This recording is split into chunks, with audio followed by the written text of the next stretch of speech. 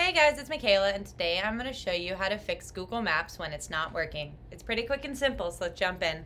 Hi, my Google Maps open and the first thing I want to do is to make sure that the app is updated. We'll do that by going out of the map and we're going to go into our Apple Store, our App Store. We're going to type in Google Maps.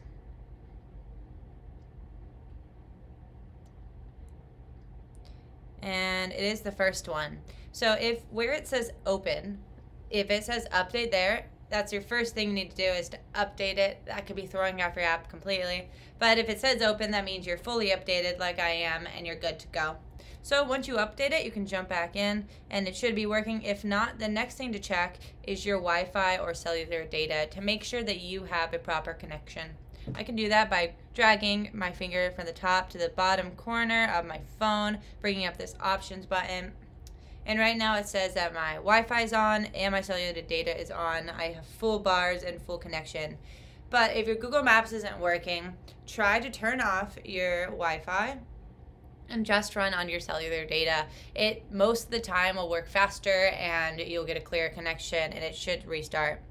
The third thing we're going to try is to just reset the app just in case something went wrong, a setting was pushed, or you know, it's an internal thing. To do that, all we're going to do is go out of the app and we're going to go to our settings on our phone. Then we're going to go to general, then iPhone storage.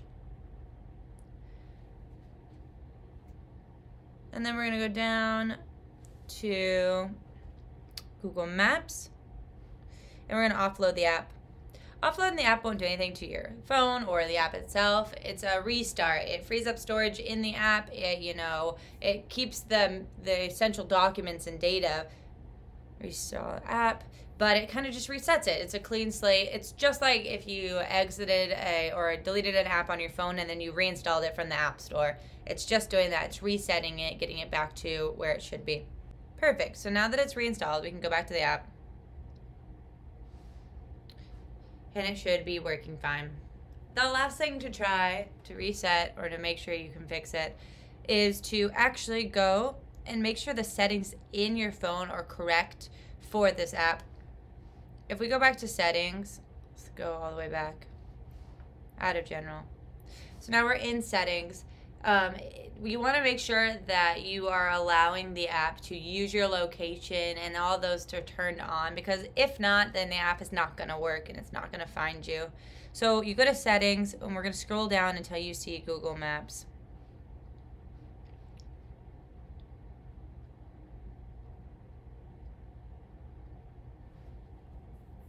Alright, I must have missed it. There it is. Google Maps.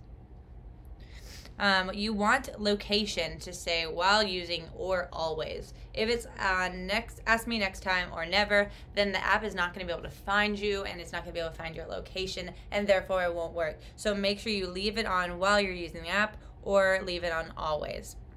If you guys have any questions or comments on this, if you need any help, let us know in the comments below. If not, if this helped you, like it. If uh, and don't forget to subscribe.